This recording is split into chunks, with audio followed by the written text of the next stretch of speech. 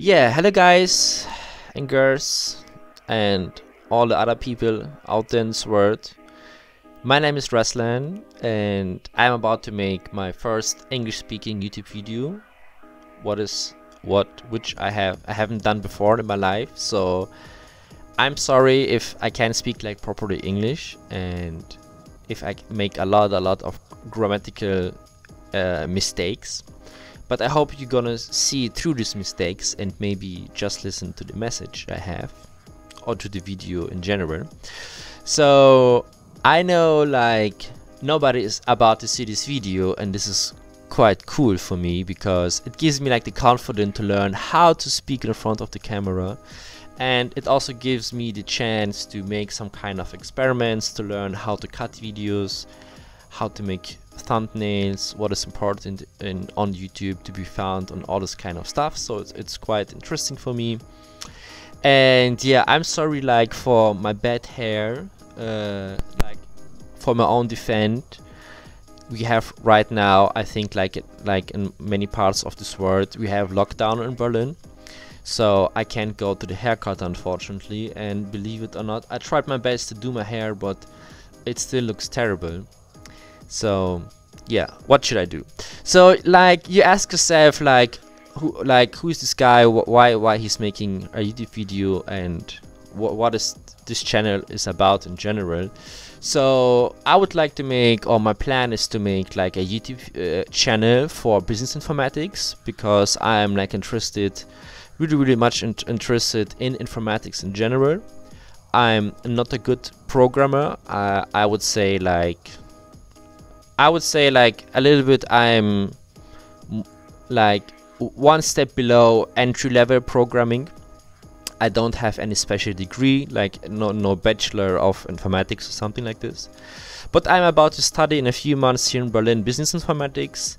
And I thought it would be like really interesting to take people on a journey with me together who also are interested in, in informatics or who are interested in business informatics or who are interested in uh, software developing, web design, all kind of stuff, like everything what has to do with code. And yeah, so I think it's gonna be an interesting journey to take you guys with me. And so, to be honest, I have like no idea how I should create this YouTube channel. I have no, even right now, I don't have any ideas. Um, what kind of videos I'm about to do the next time. But this is quite cool for me because I can take my time to be more creative and yeah to find out what is interesting for my audience. So I have to make I think like at least I don't know like hundreds of videos uh, to find out what kind of people like are interested in in this kind of videos. I hope you understand me. And yeah but i believe in something and i believe in let's say in progress. So i believe like if you do something like 100 times or let's say if you do something 1000 times and maybe a little bit more it depends on what you're doing and how big your goals are that you, you just have to be from this 1000 times let's say one time like really successful. And the more often you do something the bigger are the chances that you're about to receive this success. And if you have this success like from this 1000 times you're doing something you will gener you will like in general be successful in everything like you're doing in the special field. I hope you understand what i mean yeah so so yeah like uh yeah i think this was my message. I think this was my first um video.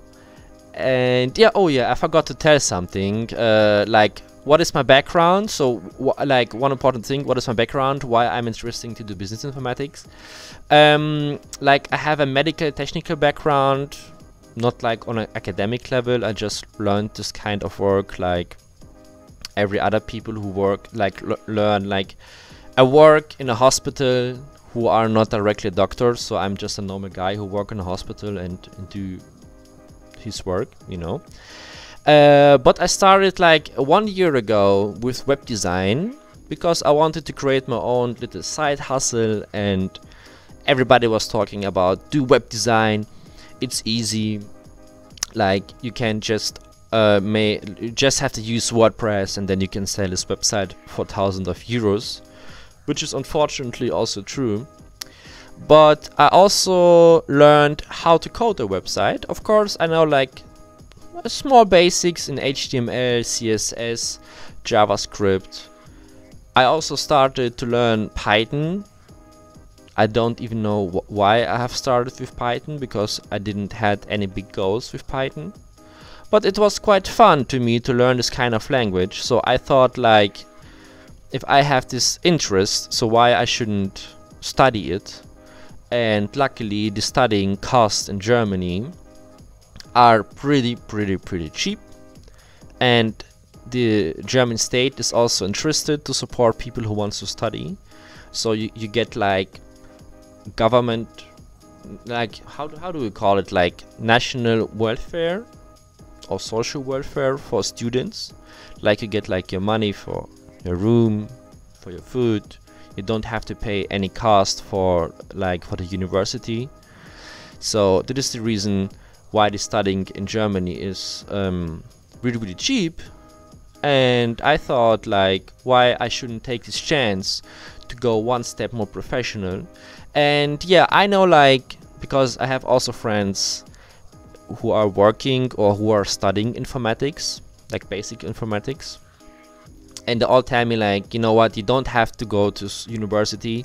You just can learn like from online courses.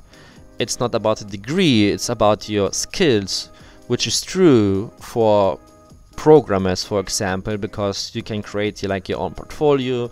You can show like what kind of apps websites other software you have developed and you can succeed with this kind of work. But unfortunately and this is unfortunately I think for Germany that it is not so easy to work as a programmer if you don't have any degree.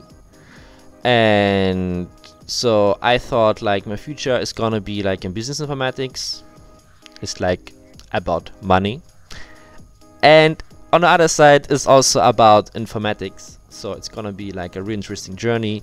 Yeah i think i talk i have talked too long so uh, yeah thank you for watching and uh, yeah let's see what kind of video i'm doing the next time. Peace